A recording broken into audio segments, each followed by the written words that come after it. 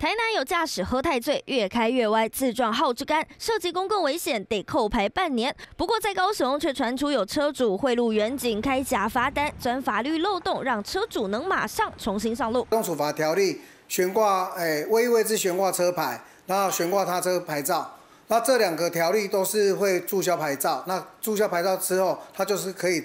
趁那个空档去把车牌领出来。之前的法律规定，车牌被注销，重新领牌等于不用被扣牌半年。就业者动歪脑筋，被扣牌六个月，联合租赁跟代办业者，找当时在高雄仁武分局任职的诚信远警合谋犯案。被扣牌的租赁车开上路到指定地点，让诚信远警开罚单吊销车牌，这样就可以立刻把车开到监理站，等于不用被扣牌半年。涉案不法获利高达七百三十八万，全遭高。高雄地检署依图利罪起诉，因为他原来车牌被注销，重新领牌，那重新领的这个车牌跟他要危险驾驶要调扣那个车牌是不同样的车牌，他就变成可以行驶正正常道路，会有这个漏洞，法规都已经有重新做更改了哈。现在目前来讲，这个方法是行不通的。陈姓远景收贿开假罚单，被仁武分局记过调离原职，还涉犯贪污图利、公务员登载不实等罪嫌，官司产生。三立新闻徐世廷会山告诉我们道。